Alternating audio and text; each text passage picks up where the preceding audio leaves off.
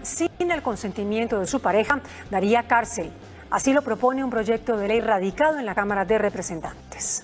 Entre dos y cuatro años de prisión tendrían que pagar quienes se quiten el condón sin consentimiento de su pareja, de acuerdo con un proyecto de ley que fue radicado por el representante Julián Peinado. Se trata de la práctica conocida como stealthing. Esto significa que la persona se retira el preservativo sin consentimiento de la pareja. Ojo, sea hombre o mujer. En el caso de las mujeres, el diafragma o los condones para mujeres. En este tipo de circunstancias existiría una relación sexual que es engañosa y que es consentida, que es, no se encuentra actualmente tipificada como un delito en la ley penal y que se está volviendo una práctica recurrente. El proyecto fue radicado en la Secretaría de la Cámara de Representantes.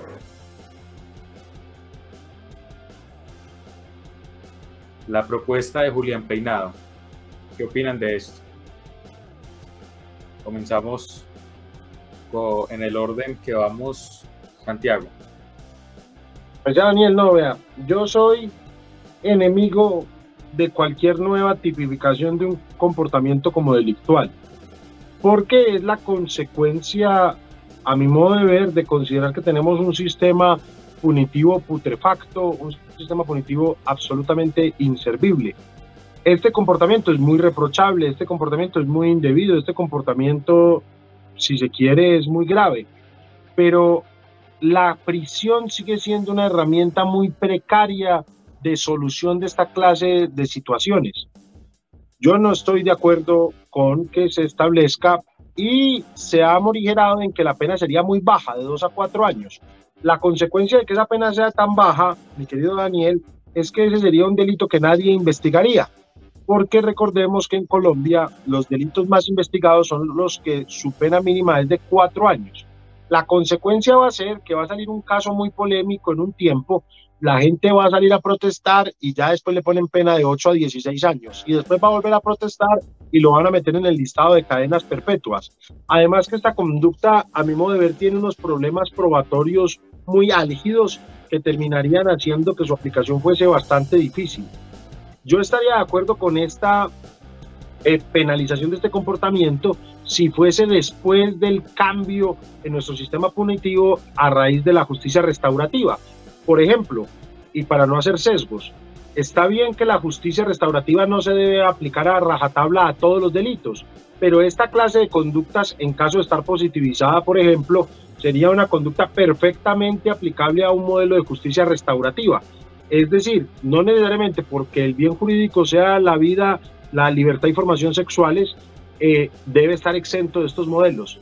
Pero eh, yo creo que esto es una propuesta desde el populismo punitivo busca mojar un poco de prensa y no creo que sea necesaria ni que contribuya en absolutamente nada. Además que no va a ayudar a, a prevenir ese comportamiento, entonces no le veo sentido a esa propuesta normativa siendo francos.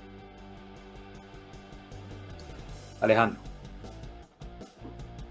Yo creo que es, es yo escuchando pues al, al, congresista uno entiende que él está tratando de pensar en hombres y mujeres eh, y creo que equilibra la cancha en su discurso, pero con seguridad que está pensando exclusivamente eh, en temas de los hombres y, y, quien probablemente recurrentemente vaya a ser víctima van a ser las mujeres. Y yo en esos temas trato de ser muy, muy respetuoso porque finalmente eh, pues el, el, machismo es fuerte y es fuerte también y lo atraviesa uno.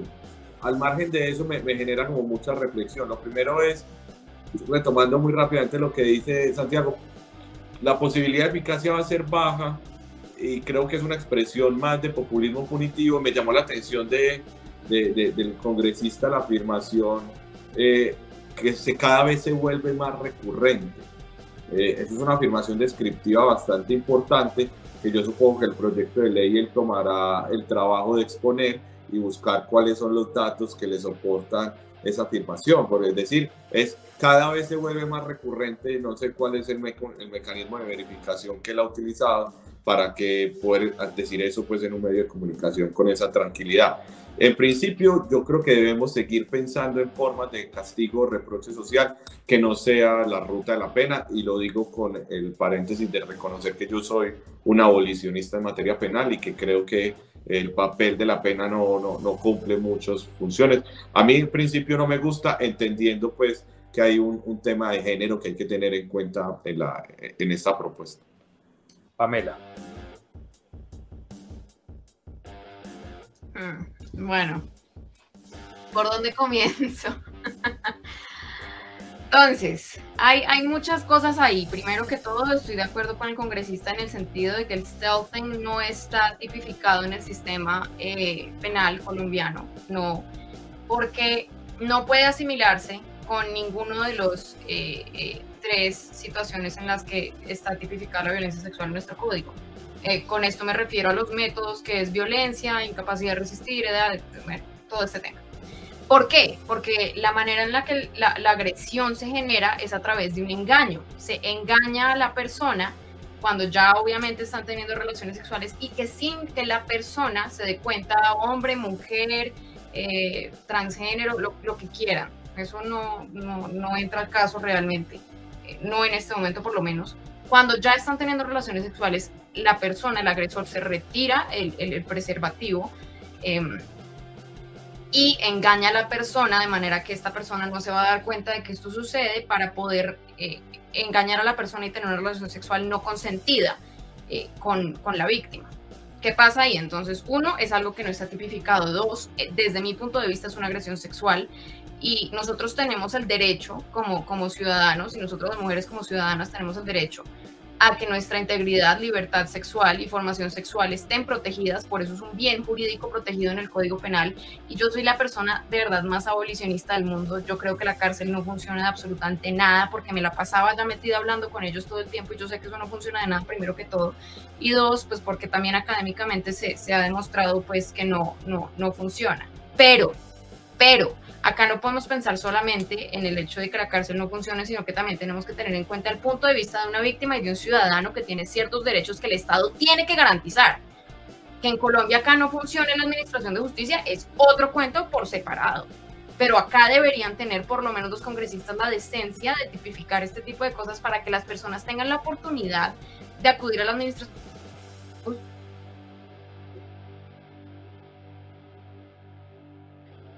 es algo muy complicado. Eh, creo que me les fui ahí un segundito. Está vulnerando un bien jurídico y es algo muy complicado realmente. Y es que lo digo y, y, lo reconozco y lo digo con rabia y que lo digan si me quieren atacar por feminista, por mujer, por lo que quieran, me importa un carajo. Porque lo digo con rabia porque con los dedos de la mano que tengo acá, digamos que tengo cinco amigas, por lo menos sé de dos que les ha pasado esto y que se levantan y me dicen estoy muy confundida, me pasó esto anoche, no sé qué pensar, te estoy contando a ti porque yo sé que tú manejas casos de violencia sexual. ¿Qué hago? No sé, no sé si, no sé si me violaron, no sé qué pasó. Nadie en la vida se debería levantar después de una relación sexual y decir, oiga, no sé qué pasó. Tan raro esto, no sé cómo me siento al respecto. Una cosa es el arrepentimiento y de lo que sea, de, ay, no, no, no le debí haber parado bola de semanas, lo que quiera. Eso es otro cuento. Pero cuando la víctima se siente agredida, eso se siente, es un sentimiento diferente, la vulneración del bien jurídico es completamente diferente, es algo gravísimo que genera un trauma de por vida.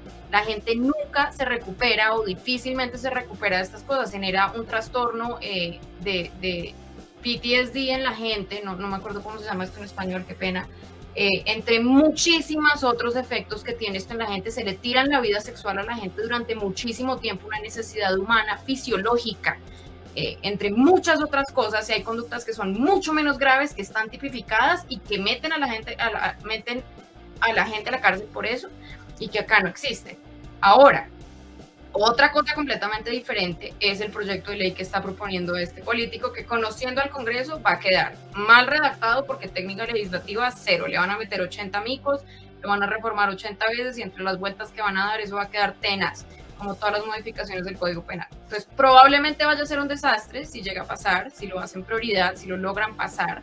Puede que sea populismo, pero a mí me parece en abstracto una excelente idea. Una excelente idea para proteger bienes jurídicos no importa no importa y sin tener en cuenta que la administración de justicia sea un desastre. El 99% de los homicidios, creo, es una cifra impresionante. Son impunes en Colombia, entonces por eso eliminamos el homicidio del Código Penal. No creo, no lo creo. Yo antes de, antes de que darle la palabra a Esteban, te, te preguntaría algo referente a comentarios que escuché y que leí frente al tema probatorio. ¿Qué has sabido de casos que hayan tenido como éxito en otras partes del mundo que nos puedas comentar? Testimonios.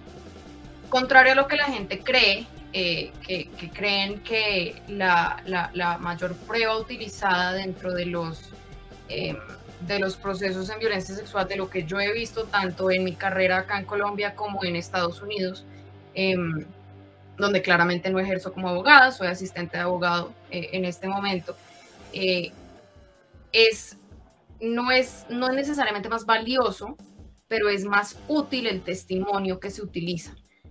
Claro, la gente entonces ahí se va a pensar y va a decir, no, es que van a empezar las denuncias falsas, lo que sea, no, eso es un mito urbano terrible, el, el porcentaje de denuncias falsas es ínfimo, es menor al 1%, si no estoy mal, puedo estar equivocada porque no tengo la cifra acá, pero es una cosa de nada, o sea, nadie se mete en ese trajín que es ir a sentarse con un fiscal y decirle, oiga, no, es que estaba con mi novio, estaba tirando con él y me se retiró el condón. No sé, o sea, ustedes, yo, yo creo que la gente no dimensiona lo que es sentarse uno a decir eso y, la humillación y la revictimización que implica salir a denunciar algo.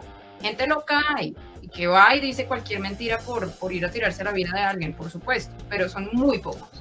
Em, sé que en Suecia se condenó a un hombre eh, eh, a cárcel, pues a, prisión propiamente, solo antes que se conoce como coloquialmente como cárcel acá en Colombia.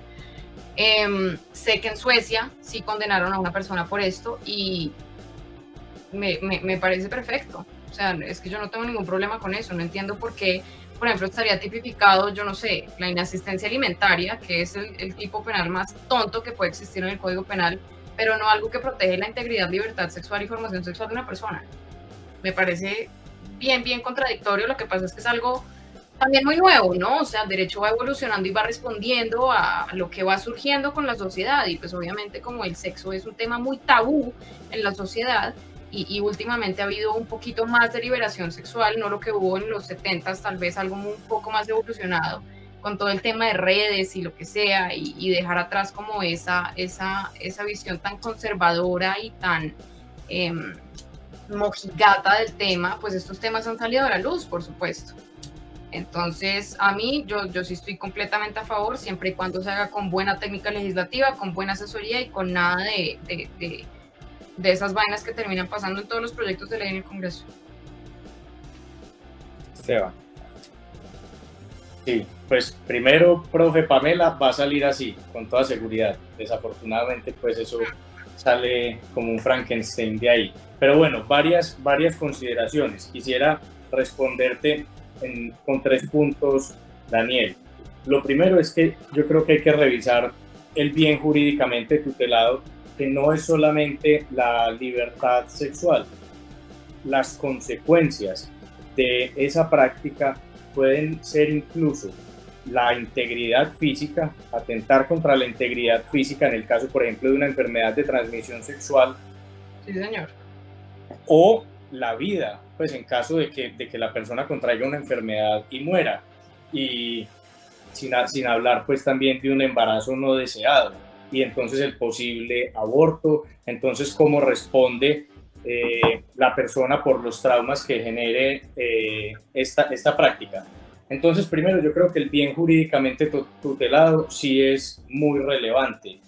Yo difiero y yo creo que el reproche social no es suficiente. Si la pena de prisión es desmedida y, hoy en el sistema penal colombiano es eh, ineficaz o, nunca se llegará a una condena, pues ese es un debate interesante. ¿Qué nos hemos inventado cómo nos hemos sentado como sociedad, como facultades de derecho, para inventarnos penas o, o, reproches que sustituyan la pena privativa de la libertad. Valdría la pena dar esa discusión. ¿Cómo, listo, decimos que la prisión definitivamente no sirve? Bueno, ¿qué vamos a inventarnos para sustituirla? Yo pienso que el reproche social no es de ninguna manera suficiente, que las víctimas de esto merecen justicia no entendida como venganza, pero sí justicia. Yo creo que el reproche social de ninguna manera eh, restituye ese derecho de las víctimas. Siento que también comparto, como el profesor Alejandro, que pues es paradójico que el representante diga que las mujeres también se podrían extraer el, dispositivo, el, el, condón femenino. Yo creo que esto es una, una conducta eminentemente practicada por hombres y que para que una mujer se extraiga ese dispositivo es muy complicado que el hombre no se dé cuenta. Entonces, creo que es un, es un debate que busca proteger en su mayoría a la población femenina y bienes que son jurídicamente absolutamente fundamentales en su desarrollo y en su vida. Repito, no es solo la libertad sexual, sino la integridad física o incluso la vida. Eh, cierro la intervención diciendo, creo que el reproche social no es suficiente y que si bien la pena de prisión puede considerarse hoy desmedida o inútil, pues no nos hemos inventado nada mejor y que se debe avanzar en esa discusión porque no se puede dejar en el aire a las víctimas de este tipo de prácticas. Listo, vamos a con el último video para terminar y responder las preguntas que tienen. Este tema va a ser muy, muy rápido.